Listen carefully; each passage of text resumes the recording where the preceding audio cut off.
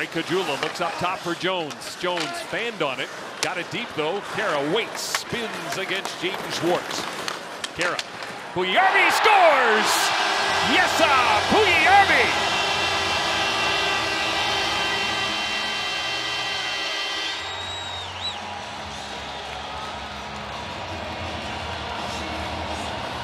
Gets his third goal of the season, the first in his last 10. Some real solid work in the offensive zone by Kara to keep this play alive. Little puck protection, find his way, and look at Puljujarvi slip into a spot, into a shooter's position. We talked to him this morning. This is the next step for Jesse Puljujarvi, getting himself into spots to shoot that puck and pull the trigger.